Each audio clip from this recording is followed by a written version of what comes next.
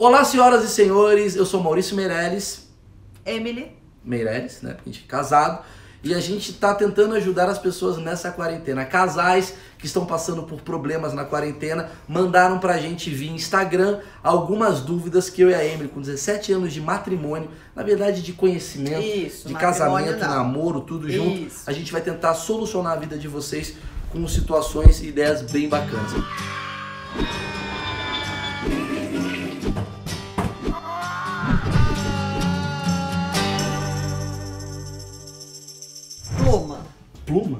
Dela é Pluma. Vamos respeitar? Mas é um anime? Não. Ah. Problema de casal é conviver. Hoje brigamos porque eu quis fazer frango desfiado pra deixar congelado e ele disse que não era hora pra isso. Qual a hora então? Estamos 24 horas por dia sem fazer nada. Estamos o dia todo sem se falar por isso. Caralho, isso é verdade. Porque É antigamente, bom. antigamente as tretas eram por motivos sérios, traição. Hoje não tem mais traição porque as pessoas não estão saindo. Então a treta hoje é um frango desfiado. Isso, que ela queria muito fazer pra congelar e ele falou: não. Aí então ficaram um dia inteiro sem se falar. Eu vou jogar a real pra vocês. O, o relacionamento, a Emily sabe muito bem disso. A gente tem uma vontade de querer brigar. A gente quer brigar. A gente só precisa de um motivo. Ainda mais na quarentena, a gente quer brigar muito. Não, mas a gente já tem um motivo pra brigar. A gente já quer brigar. Eu quero hoje Só de acordar- conviver. brigar. Quero brigar. Hoje eu quero brigar. Terça, futebol. Quarta, brigar. A Tá. gente quer brigar. Só que a gente não tem muitos motivos. Então a gente cria os motivos. Quando a pessoa tá trabalhando muito, um motivo é o trabalho. Sim. Quando a pessoa tá muito no WhatsApp, outro motivo. Quando a pessoa tá fazendo a mesma coisa que você, você joga É pro frango. O frango desfiado. No frango desfiado jamais seria um problema. Não. Não antes, seria um antes problema. da quarentena não Não seria. seria. Hoje Agora é frango putz, desfiado, é um problema. Puta treta. Então, primeiro, quero saber a sua opinião sobre o assunto. Eu compreendo, eu acho que realmente a gente tá passando por momentos que a gente fica puto com tudo. Pra mim é um saco cozinhar, eu fico puta já de estar cozinhando. Se você falar um A pra mim a hora que eu estiver co- cozinhando, eu vou chutar tua cara. Isso é real. Então, assim, eu compreendo eles terem brigado. Mas é porque a gente tá muito irritado com essa situação de ter que ficar em casa o dia inteiro, não é fácil. Então eu compreendo a situação. Eu acho que é pedir que no momento que ela estiver cozinhando, ele não fale nada.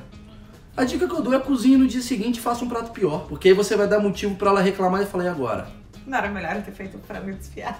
O objetivo do homem é você fazer de uma forma indireta que a mulher faça aquilo que ela não tem vontade de fazer. Essa, essa- eu já fiz isso muito com você. Por exemplo. Há muito. Por exemplo, eu quero jogar futebol terça à noite. É um motivo pra brigar, porque você não quer. Eu tô com o Gabriel, não sei o quê. Então eu sei que você quer ver o, o filme do Aladdin. Hum. O que, que eu faço? Eu já ligo pra você com o ingresso comprado e falo: Emily, comprei o ingresso do Aladdin pra gente. Você vai ficar mó feliz. Que legal. Tá. Tá, chegando do futebol eu te entrego. Você não tem motivo pra reclamar porque eu comprei o ingresso do Aladdin. Quer ver outra, coisa que eu faço? Faço muito. Lavar a louça. Eu lavo mal, de propósito. Porque minha mulher, ela pega, ela olha e fala: Nossa, tá sujo. Nem vou pedir pra ele amanhã. Amanhã eu lavo, porque o mal não tem condição. Entendeu? Você faz. Porra, você faz isso de propósito. Às vezes eu faço. Hoje eu tô. Agora, Tua louça, você lava uma louça, é uma, Não. é uma merda a sua louça. mas, agora, lavada. mas agora eu tô lavando bem, porque agora é um objetivo legal. Hoje lavar a louça é um dos melhores afazeres da casa. Tá, então vamos melhorar. A dica que eu dou é: coloca sal e pimenta à vontade na sua comida, a ponto da sua mulher olhar e falar: Hum, acho que vou fazer o frango desfiado. Fagner Lopes, olha Fagner, é... compaixão por você, tamo junto, amigo. Ele falou que o problema dele é cuidar de duas crianças enquanto trabalho remotamente. Não vale sugerir aplicar um modo Nardoni, hein? Como se eu fosse sugerir: olha, mate sua criança. Cara, é difícil trabalhar remoto com criança. né? Cara, a gente fez a call hoje É. com Gabi acordada, é Não dá. Não dá. Eu queria, que, eu queria que o pessoal aí da edição botasse como é que é trabalhar com criança. Um, I would be surprised if they do. The um, pardon me. Vamos Ele pensar. deixa o- a- a- as duas crianças o dia inteiro com celular, com tablet, foda-se enquanto ele trabalha, porque a gente sabe que a criança vai querer a atenção dele. A ideia, eu acho, talvez é você começar a colocar os seus filhos no seu trabalho de forma que eles são subgerentes. Ou seja, você é o gerente, o seu filho menor é o subgerente e o outro é o diretor regional, alguma coisa do tipo. Interessante. Você coloca eles dois, eles vão adorar porque vai ter o computador, vai ter uma brincadeira e você passa funções. E no caso, você com o tempo pode até parar de trabalhar e as crianças fazerem as funções que você deveria fazer. Interessante. Hoje eu fiz isso com o Gabriel, você não percebeu uma hora que estava na reunião? Falei, olha aqui o Gabriel, botei ele e fica olhando e fica quieto. Ele só tem que participar da reunião. Às vezes o seu filho quer participar de uma reunião. Terra-média Cervejaria. Um abraço aí ao Terra Média Cervejaria. Maurício, Hum, meu maior problema na quarentena é um local seguro para desovar o corpo do meu marido. É. Pois depois do quarto dia de quarentena, eu não aguentei ele 24 horas por dia vendo Naruto e surtei. Não me julgue. Você acha que eu coloco na banheira e uso ácido ou tomate doido e escondo o corpo no quintal, apesar de já estar manjado e ser o primeiro local que a polícia vai procurar? Uma boa questão. Ah, Ela assiste série pra caceta, gostei. Não, acho que a polícia nesse momento ela não vai invadir, né? A polícia ela tá vivendo casos de quarentena. É, eu acho que a polícia entraria daqui a um tempo, né? Daqui a um mês, talvez, né? Mas o ácido vai te atrapalhar um pouco, é, minha querida amiga, porque você vai ter que comprar o ácido. E, consequentemente, Não pode sair. não pode sair de casa. Eu acho que enterrar o marido no próprio gramado é uma solução É viável. muito batido mesmo. Ela É batido, que é batido e é batido. mas ao mesmo tempo distrai. Em época de quarentena, você cavar um grande ah, buraco. leva um tempo. Leva um tempo, você distrai, Pode ser. o corpo decompõe de uma maneira, né? Você vai lá, acompanha, vê como é que tá acontecendo. Você usa os dejetos do corpo para fazer adubo. Você pode plantar outras coisas. Eu acho que assim, a gente vai ficar nisso até. Eu tenho uma previsão de até julho, agosto. Meu pai. É. São, são dois meses que dá certinho, né? Pra ninguém sentir falta. Até porque viver numa quarentena, ninguém sente falta. É uma vantagem. Mas- Porque o pessoal do trabalho não vai falar, cadê o Marcos?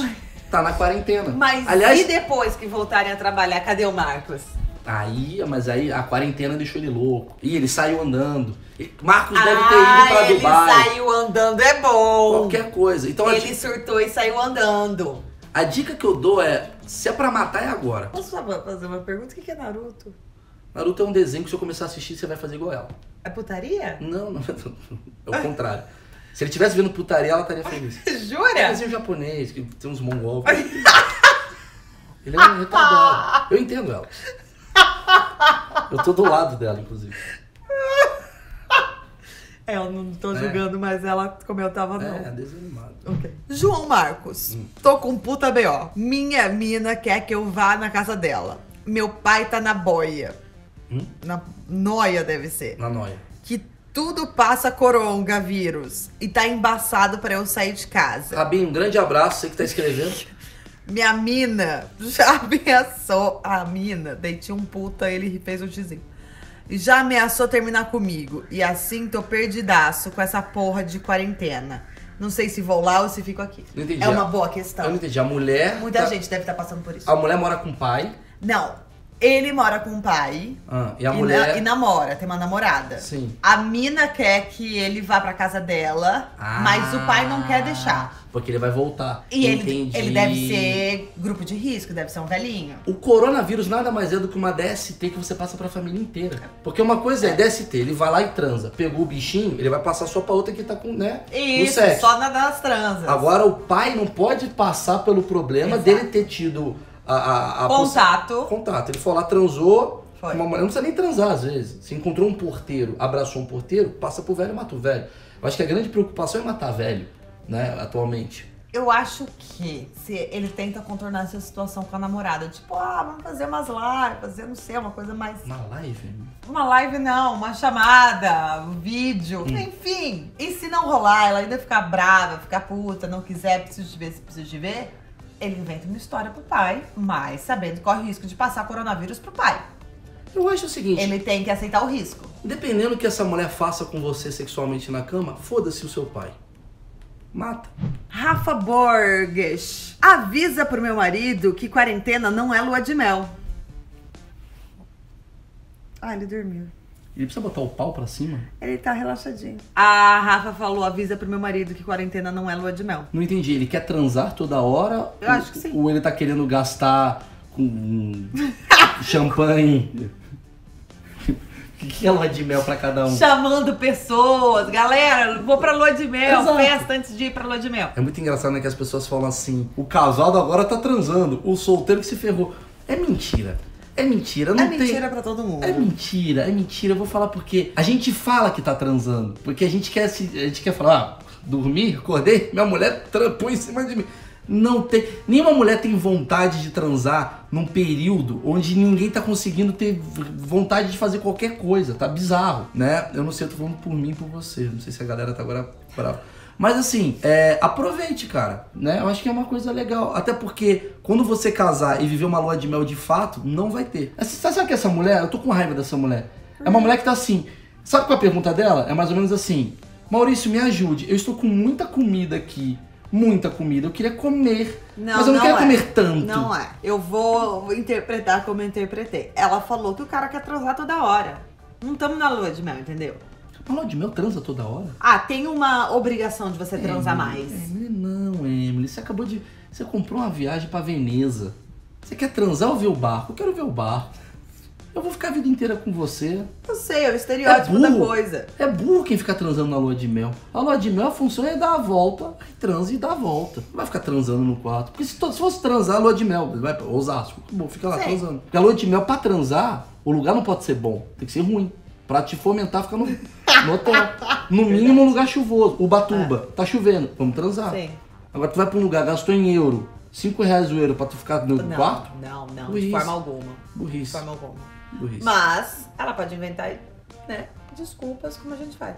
História. Qual a desculpa que você geralmente usa quando você não quer? Ah, várias coisas, né, mal? É meio O óbvio. que, que você já usou? É o óbvio de toda mulher, de sempre. Dor de cabeça? Cansada, dor de cabeça. Ontem você estava cansada. E outro dia eu tava com dor de cabeça. Pois é, senhoras e senhores, é, estamos passando por um problema, a gente precisa do dólar, né? É, existiria uma forma muito mais fácil de eu e a Emily ganharmos dinheiro, afinal estamos trancados e temos uma câmera aqui, que seria o Xvideos. Mas a gente está casado, a gente não tem mais a, essa coisa, né, de, de, de gravar e tal, de ter uma criança. Ia ser uma merda no nosso Xvideos, a gente ia transar o Gabriel, aparecer e botar um ônibus na nossa frente.